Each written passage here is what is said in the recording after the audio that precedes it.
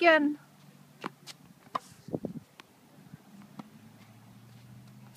We're just warming up.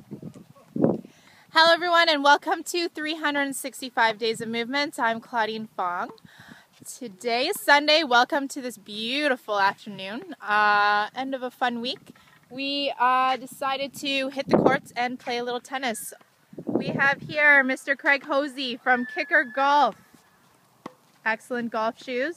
Say hello. He's spending his last few hours in the Florida sunshine. And then over here is Mr. Alex Riggs.